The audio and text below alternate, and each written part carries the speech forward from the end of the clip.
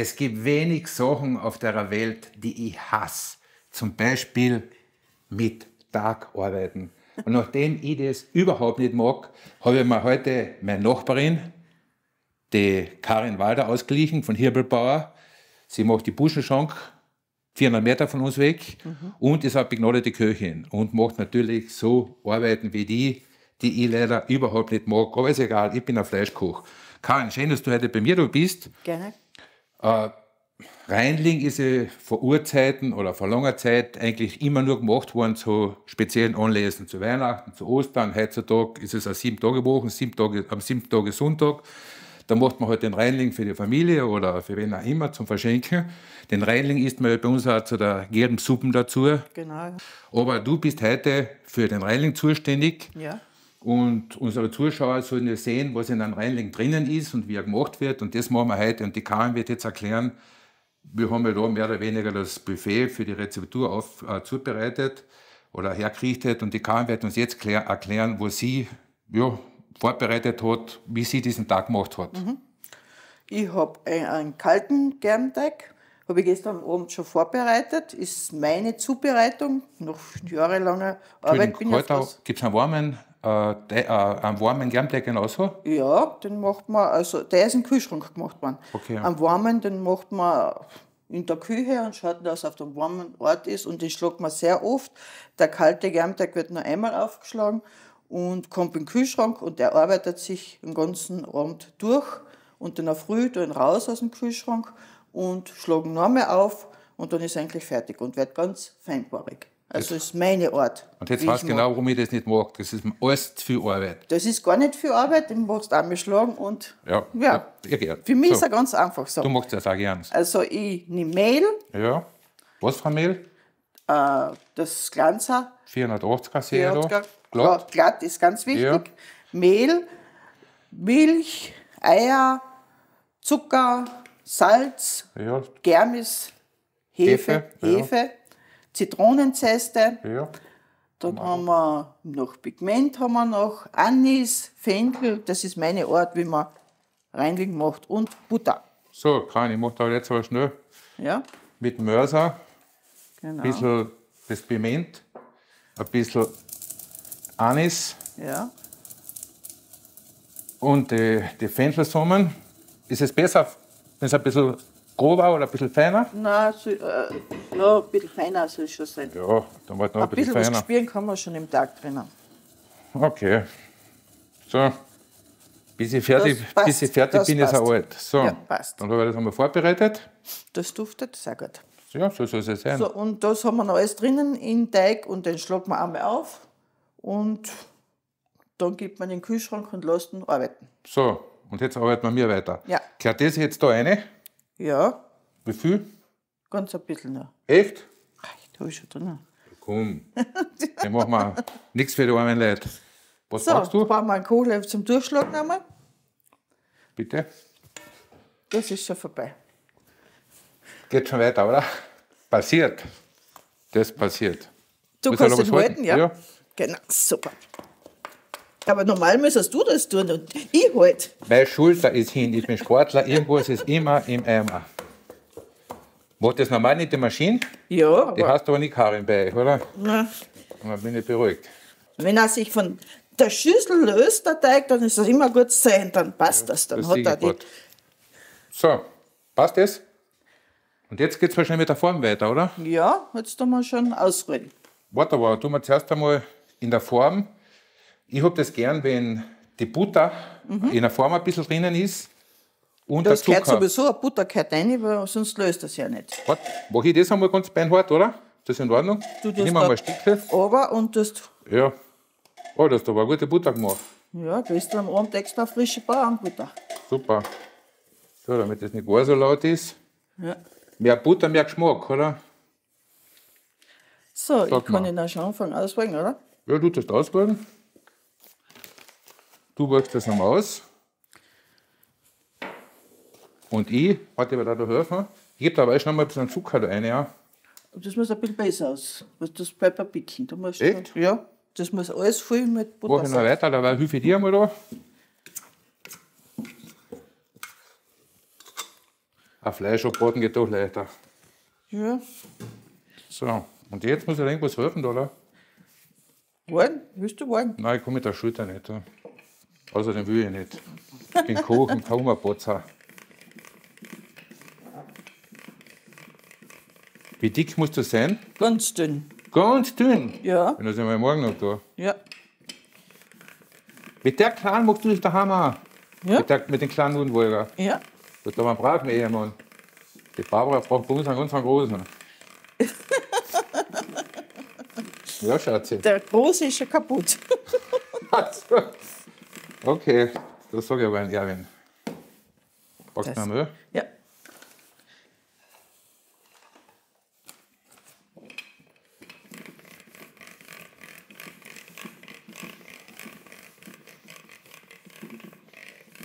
Ganz dünn nach Mahlzeit.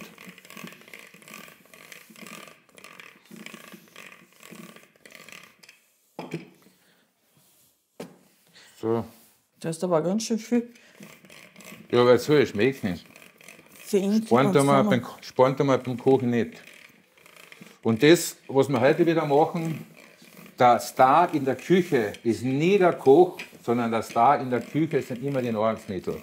Und wir haben uns heute gedacht, so wie es gehört, von A bis Z, das heißt von den Bienenkerner über die Walnüsse, über die, Kinder Butter, werden nur die besten Grundnahrungsmittel verwendet. Was willst du dazu sagen? Du könntest eigentlich schon alles schneiden. Nachher. Ja, schneiden tue ich gar nicht, ich einen Mörser, das geht automatisch. Na, kannst du schon machen. Ja, das wird auch machen, aber zuerst jetzt einmal noch einmal, was du gesagt hast, dass ich da zu wenig Butter drinnen habe. Ja.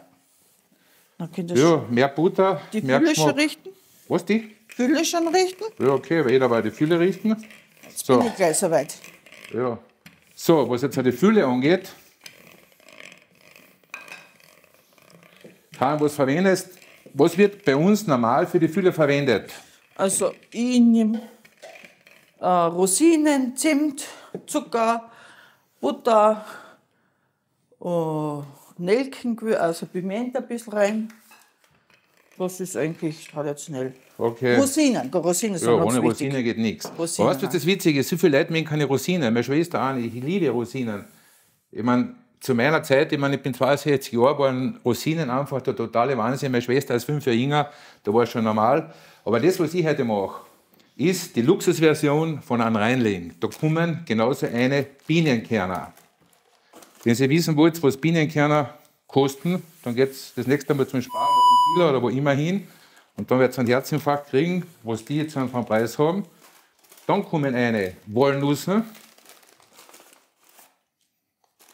Viele machen wir reichlich, oder? Ja, du magst es gern. Ja. Aber man muss aufpassen, sonst man zu drinnen geht er nicht Bleibt so er gern hängen. auf. So, was total untypisch ist, Mandeln. Wir schöpfen heute aus den Folden. So. Passt das ungefähr, Karin? Ja, das wird schon reichen. Ich zeige es euch einmal. So schaut das aus, was drinnen ist. Und ich werde das jetzt da einmal ein bisschen kleiner machen. Zu klein auch nicht, oder? Weil ein bisschen ein Biss wird man, Doch, wird man noch haben. Echt? Ein bisschen ein Biss kann es haben, ja, genau. Ach so. Ja. Passt das so? Ist das für die in Ordnung? Ein bisschen noch. So. So, jetzt wird es passen. Warte mal, fang du mit denen mal an, bitte. Dann mache ich den nächsten Teil. So, das haben wir jetzt alles drinnen. Mal durch. Gut. Das wird ein richtiger Weihnachtsreinling. Alle guten Sachen, was die Gute oder die Verwandten daheim gefunden haben. Genau. So, dann gehen wir weiter. Dann kommt eine, ein bisschen Piment. Na, Pigment hätte ich da schon als Pulver. Ja, tun wir trotzdem ein bisschen. Ah, das ist noch. Jetzt wird da, Ja, müssen wir sparen ein bisschen. Okay, dann nimmst du da einmal. Weißt du, frisch ist frisch, das Pulver ist nie so gut, das Ja, wird das frisch stimmt schon. Deswegen müssen, wir, deswegen müssen wir ein bisschen sparen, weil da hat das schon eine Reicht das? Schärfe. Ja. So, also jetzt haben wir mal Piment drinnen. Dann die Rosinen. Ja. Die kannst du gleich so rausnehmen. Die Rosinen. Dann gebe ich da, ohne Zimt gar nichts. Ja. Oh, die Rosinen, die habe ich nebenbei vom slowenischen Cast. Soll der mal nicht wissen, wo der slowenische Cast ist? Wenn ihr von Udine nach Dresden fahrt, auf der linken Seite, wo man normal nicht hinschaut, der rechts das Meer ist, da ist der italienische Cast und der slowenische Cast. Sehr zu empfehlen, dort ein paar Tage zu bleiben und Urlaub zu machen. So, wir haben jetzt den Zimt. So, Zimt. Dann brauche ich noch der Zucker. reichlich Zimt. Bitte? Zimt und äh, Zucker und Butter fehlt noch. But, äh, Zucker, Butterflocken. Butterflocken, du musst da selber abschneiden. Das nehme ich da aber gleich einmal weg. Ah, das riecht. Mhm, sehr gut. Geruchsfernsehen wäre eigentlich, bei IWS TV müsste man das Geruchsfernsehen einführen, weil es einfach dazugehört. Äh, Zitrone ziehst du noch ein bisschen rein. Wenn du willst, ja, ich tu tue es ich, ich nicht.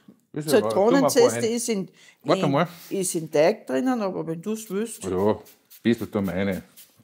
Gerade ein bisschen. Ein bisschen was Frisches dazu zum Zucker. also das ist jetzt ein Reinling à la Wop. Jawohl. Aus dem Boden schöpfen, so heißt es. Ja. So, da haben wir. Das haben wir drinnen.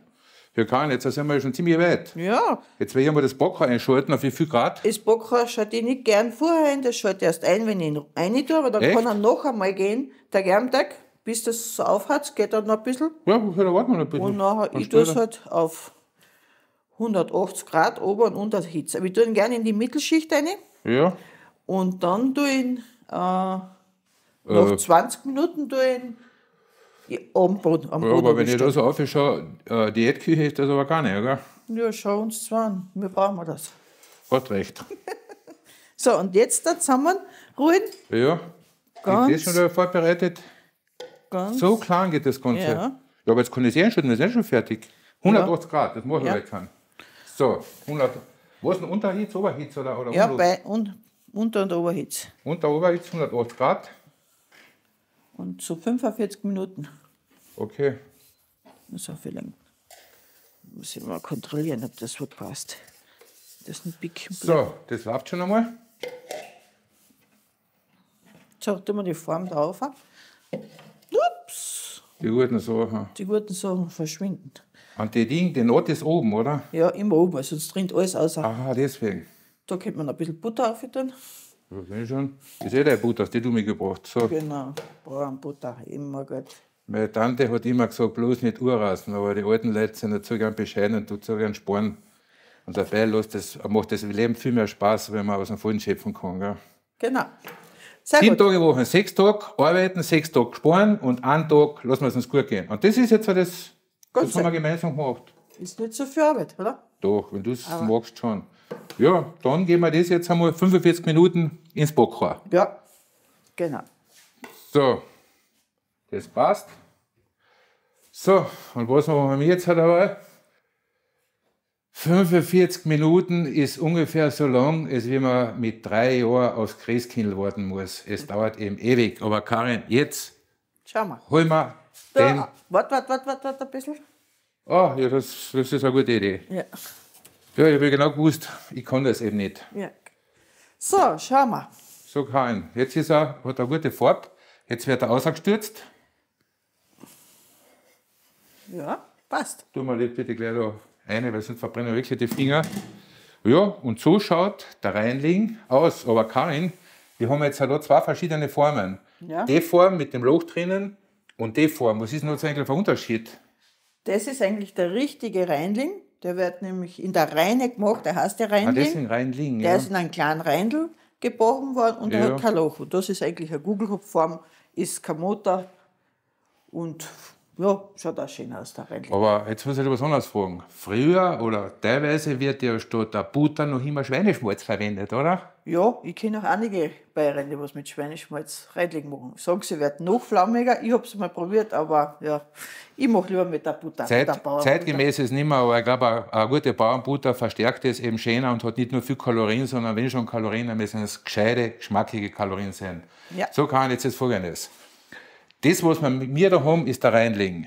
Das, was zum Beispiel die Italiener haben und die Slowenen, das ist der Bohaccia, der Focaccia, eben bei uns ist es der Reinling oder das Warzen oder was auch immer. Und dann gibt es ja bei den Italienern noch für alle Festtag den sogenannten Panettone. Über den reden wir dann gleich anschließend. Aber wir widmen uns jetzt noch einmal unseren Reinling. Ich will jetzt auch bitte, unser Thema ist ja immer, oder ist jetzt Kochen und Schnaps. Das Hauptthema ist natürlich Schnaps, sprich Spiritosen. Schneid du mal da bitte jetzt einmal drei, vier schöne Stückchen runter, mhm. die wir dann auf die vorbereiteten Teller auftun. Schauen wir mal, wie er geworden ist. Oh, super. Und du wolltest weniger rein tun. Ja. Ich möchte Geschmack. Er geht ihn noch nicht auf, wenn man zu wenig Das habe ich ja. schon alles probiert. Ja, da musst du mehr gerne rein tun. irgendwie, irgendwie muss man sich zum Helfen wissen. Ja. Aber das ist perfekt. Karin, das ist für mich reinlegen und nicht eben, wo man jedes Weinballe auserzählen kann. Ja, perfekt.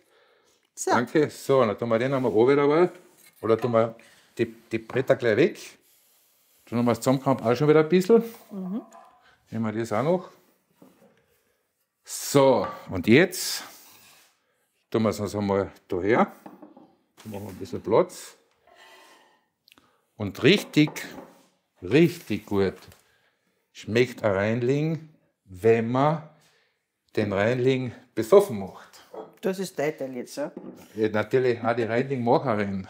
So, es gibt jetzt verschiedene Möglichkeiten, den Reinling zu beträufeln, den Reinling zu trinken.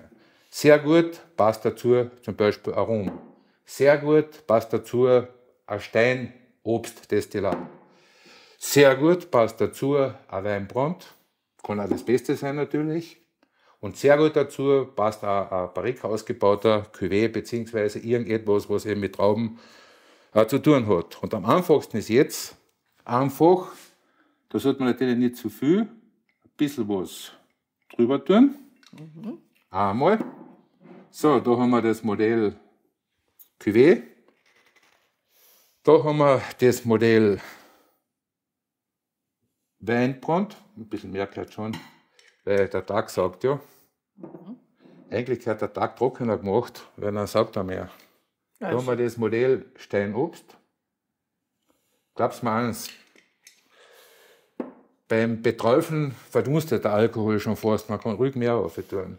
Mhm. Und da haben wir das Modell gestarten Rum.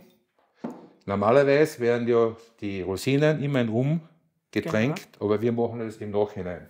So Karin, welches Modell hättest du jetzt gern zum Probieren? Rum. Rum. Rum. So, da ist einmal der Rum.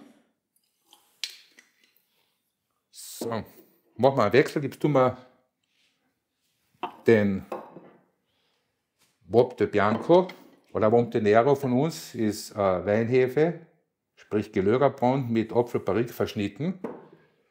Ich habe ehrlich gesagt lieber zu so Sachen Holzfass ausgebaute, Produkt, Holzfass ausgebaute Produkte. So, Karin, jetzt fangen wir mal vielleicht zum Posten an. Danke, dass du mir geholfen hast. Ich werde in Zukunft Gerne. mit dir mehr kochen, weil dann kann ich mehr blöd reden und du arbeitest. Das nennt man dann Arbeitsteilung. Also Gerne. Gesundheit einmal. Gerne. Gesundheit. So, das schmeckt. Und jetzt, Karin, ein kleines Stückchen einmal mit der Fille. Wir sagen ja Fille. Oh, und das probieren wir jetzt einmal.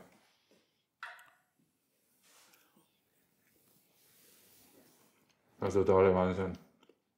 Mhm. Ist jetzt zu wenig Gefühl oder zu wenig Schnaps? Passt, oder genau. passt die Harmonie? Passt, genau. Mann, das schmeckt. Bitte, bitte. Mal ganz was anderes. Ja. Wenn ihr wissen wollt, wie man so Sachen macht, teilweise ist es in meinem Bücher drinnen, die Kunst des Einpartners, aber auf unserer Webseite IWS.tv findet ihr Ideen, findet ihr die Kontaktadressen, wenn ihr was wissen wollt, findet ihr Rezepte. So, das haben wir jetzt. Und Karin, mhm. der Panettone, der Panettone ist ja wirklich was Tolles. Nur der Panettone ist halt ein Produkt, der geht bis Süditalien. In Süditalien fangen sie schon im Sommer zum Produzieren und für Weihnachten und für die heiligen Tage, die wir im Jahr haben. Dann kostet der Panettone auf der Autobahnstation oder wo immer 7 bis 10 Euro, aber immerhin Lebensmittel, die was wert sind, die wertvoll sind, haben am Preis. Ein perfekter Panettone, so wie der, kostet bei den 40 Euro, ist einfach zum Empfehlen und ist perfekt. Und so wie wir das jetzt mit dem Reinling, mit dem Wurzeln mehr oder weniger gemacht haben, so macht man das dann auch mit dem Panettone. Ein Stück herunterschneiden und dann das Ganze wieder so genießen. Mhm.